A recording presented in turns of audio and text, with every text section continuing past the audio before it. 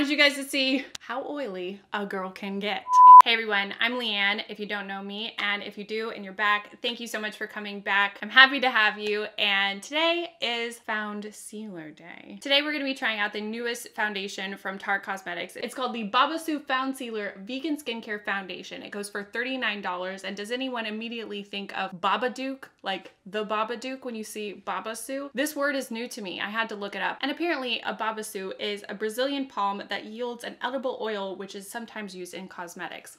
New to me, but I'm down to put it on my face. What's new? So Tarte actually sent me this foundation and I got this big thing that's really heavy. Whoa! Okay, not gonna do this anymore. This foundation goes for $39 and they're really focusing on the vegan skincare makeup hybrid element. So they're really playing up the fact that it's like a good for your skin makeup. It's supposed to go from a light to a medium coverage and it's all customizable depending on your application method. So they say if you use your fingers to apply it, it's a light coverage, it's light to medium. If you use the sponge, their sponge or any sponge, I'm sure. And then if you use their foundation brush, you will get a more medium coverage. I'm excited that they explained all of this here, but at the same time, I kind of feel like those rules apply to any foundation. Like yes, this one only goes up to a medium coverage, but say like the Estee Lauder Double Wear, if you apply it with a brush, you're gonna get a heavier coverage. If you use a sponge, you're gonna get a lighter coverage.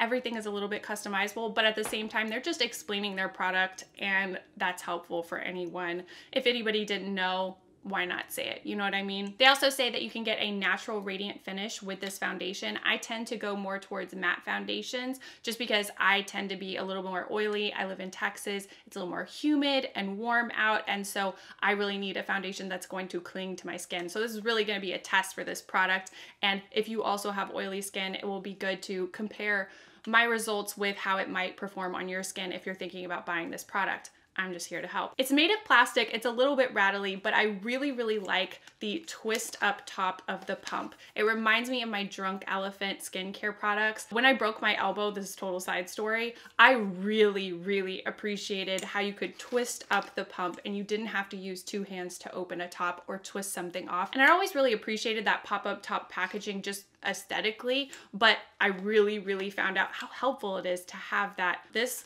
is a little harder to do with one hand, but I still appreciate it. So today I'm gonna apply this with you guys and I'm gonna wear it throughout the day and I'll check in with you, I'll show you how it's wearing, and then I'm gonna continue to wear it for the next few days and then check in with you in a few days with my final thoughts. I like to give a foundation a fair shot.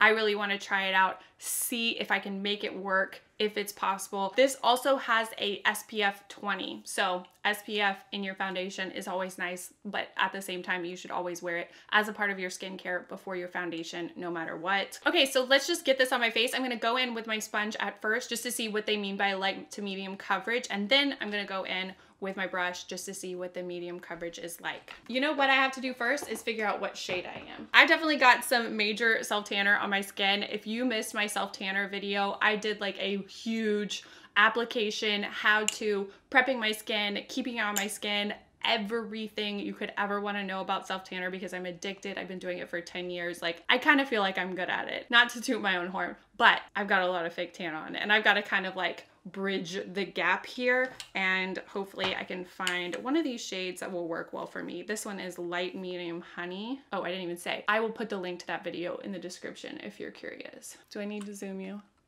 Here. Okay, light medium honey looks a little light. Okay, I'm going up to medium neutral. Okay, that looks a lot better. It doesn't match my tan on my neck exactly, but that's kind of what bronzer's for. I'm gonna go up one more shade. This one is medium golden. I love these little baby pumps. Okay, I think that I should go ahead and go in with medium golden. That one looks like a better like self-tan shade. Okay, this sounds like it'll be a really hydrating foundation, but I'm still gonna go in with my primer. This is Makeup Forever Hydrating Primer. I use this one all the time time. I just like to use a primer that I use frequently with new stuff because if you use something as your primer that you're not sure about, then you can't completely trust your results. And the next thing I almost always do before I put on my foundation is do a little bit of correcting under my eyes. I have a lot of veins, green and blue veins underneath my eyes. I just always think it helps even if I'm using a heavy duty concealer. I will list all the products that I'm using in the description down below in case you're curious. Now for the right side of my face, I'm gonna go in with their sponge. I was having a few bad skin days there for a minute, but everything seems to be healing up. So I do have a few red spots, but no active breakouts, which is great.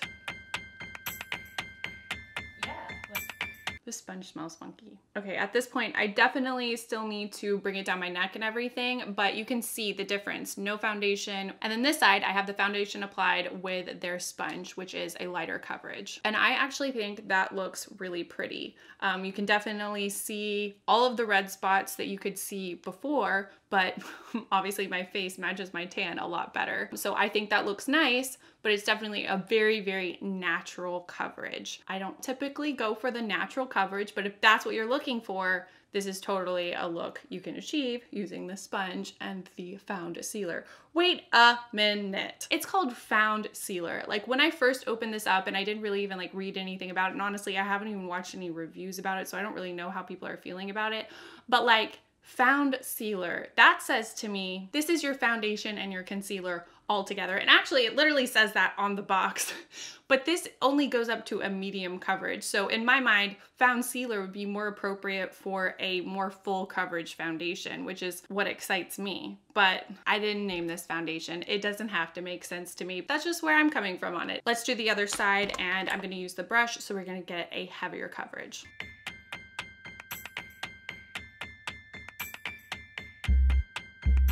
All right, I brought it down my neck a bit and this side I did with a brush. This is the side that I did with the sponge. I do feel like what they're saying is exactly true. Kind of more of a light to medium coverage on this side and definitely a light coverage on this side, but I think both sides look really pretty. And it really all comes down to personal preference.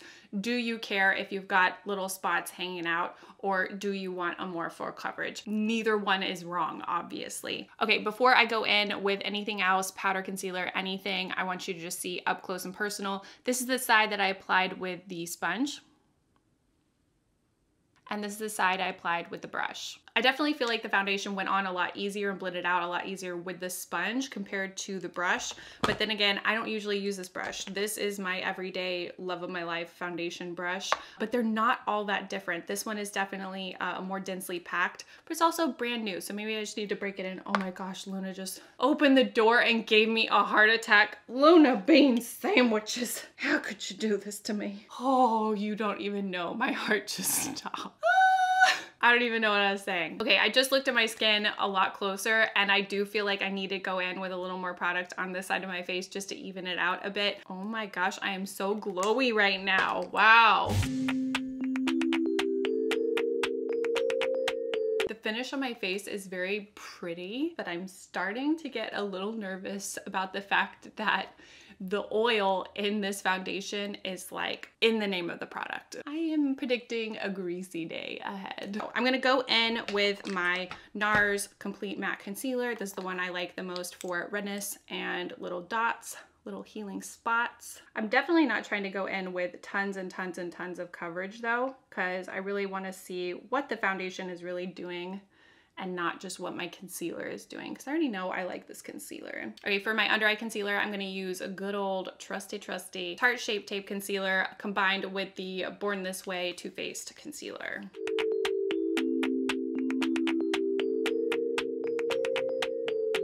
And now I'm going in with my Laura Mercier Translucent Setting Powder. It's my favorite. I definitely need it under my eyes, but with this foundation and my oily skin, I need it absolutely everywhere. Okay, now all I need to do is go in with the rest of my makeup and then I'll come back, I'll show you what that looks like. And then from there, we are just living life and seeing how this foundation wears on my face. So here we go.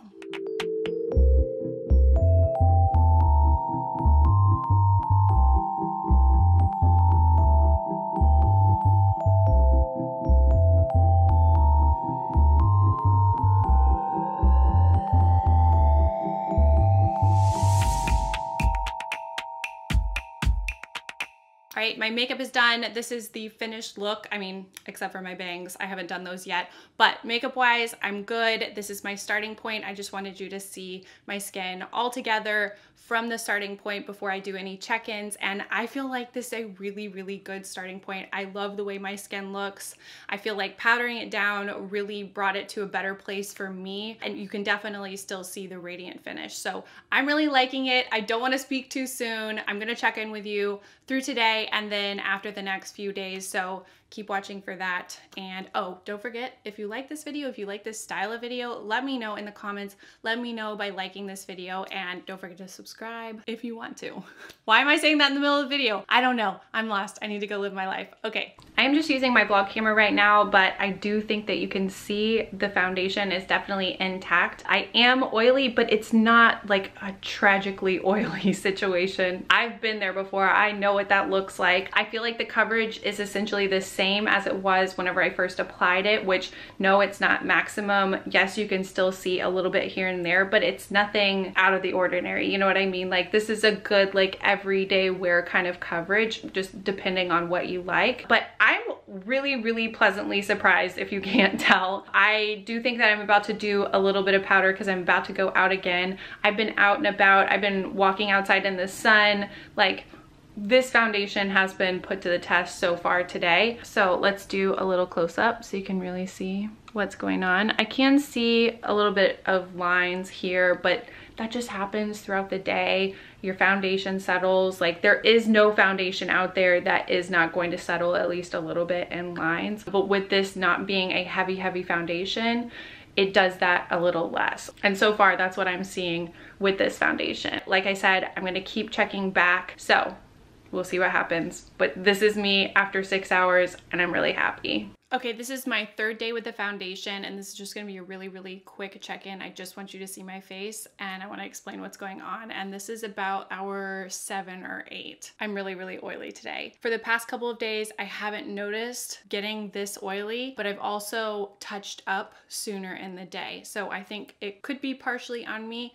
It also could be because I have a different moisturizer on today. And you know what? That's just part of the process where it's really nice for me to try it out for a few days rather than than just trying it out for one day. So like on my cheeks, not oily. Like they have a nice radiance to them, but it's not sticky, oily, greasy. My T-zone, however, is basically reflective at this point. So I'm about to use a little bit of blotting powder. This is the Soap & Glory Kick-Ass Instant Retouch Press Powder. I really love this stuff. It helps me. It saves my life when I'm becoming reflective as I am today. I just felt like it was a really good time for me to check in, even if it was a quick check-in, because I'm seeing something that's a little bit different than I saw the first two days. And there we go. I feel like like I'm back to myself. I don't feel like a grease ball anymore. I don't think anyone could step up to me and like see their own reflection in my face, so that's always nice. But I wanted you guys to see how oily a girl can get. Anyway, I think I'm going to do my final check-in tomorrow, so I'll see you then.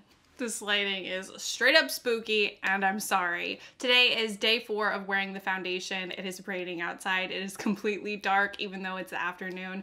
I'm sorry the lighting is awful, but I had to check in with you to give you my final thoughts. Basically, overall, I'm gonna say I enjoyed this foundation. I've really been liking it. It hasn't been like a struggle for me to want to put it on every day, which is saying a lot. I didn't specifically say in the beginning of this video that I was nervous and that I didn't have high hopes for this foundation, but I really didn't. I honestly was like, should I even review this? I don't know if this is gonna work for me, but I feel like it really did. But I will say, if you're going in and you're paying $39 expecting to get a foundation plus concealer, which hey, that totally would be worth $39 for sure, because that's two products in one. You don't have to do that extra step. And that sounds really, really good and efficient and nice, and you're gonna get a lot of coverage, but you know what? That's just not what this is. It's not a foundation plus concealer like they said, but I do think all of the rest of their claims are true, and I do think this is a good foundation. I just think the name of the product is actually misleading. I'm not sure how much I want to hold that against them because it is a good product and I did enjoy wearing it and I'm still enjoying wearing it. It's definitely not a long wear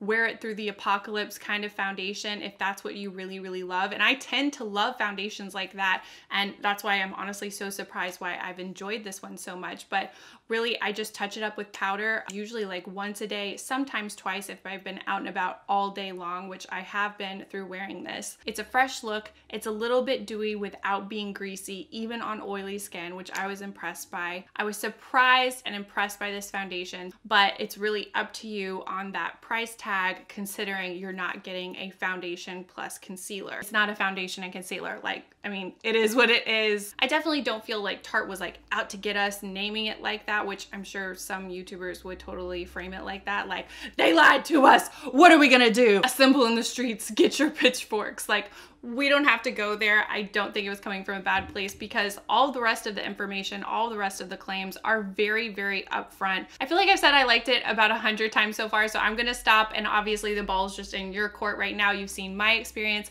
It was positive and I would recommend it depending on what somebody was looking for. I really hope this review was helpful for you guys. If it was, let me know by giving me a thumbs up on this video or letting me know in the comments what you want me to review next. I really like doing foundation reviews and if you guys like like watching foundation reviews, I'd be happy to do more. Definitely subscribe to my channel if you haven't already subscribed and hit the bell for notifications. That way YouTube will always let you know when I upload new videos. If you don't hit the bell, they only tell you sometimes and it's very spotty and unpredictable and I don't love that, but that's how it is. You can also find me on social media. I always let you guys know when I upload new videos over there too and I love talking to you guys and I think that's it. I really hope this review was helpful for you guys. Thank you so much for watching and I'll see you guys next time. Bye everyone. I haven't done the little wave thing in a while. That was weird. Bye guys. uh, this lighting is so scary. It's like the spookiest, most haunted video ever. Luna's going crazy. Yikes. Oh my gosh, this is such a look.